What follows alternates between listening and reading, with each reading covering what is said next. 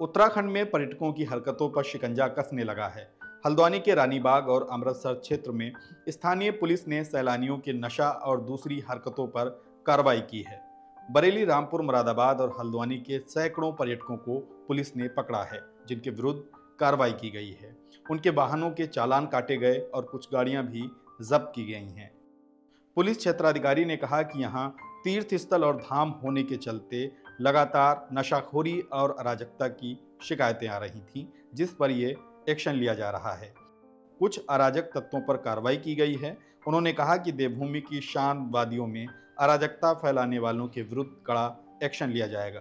Police operation मर्यादा चलाकर पर्यटकों को सुकून के साथ एक दायरे में रहकर सैर सपाटे का सबक सिखाने के लिए भी ये कदम उठा रही है।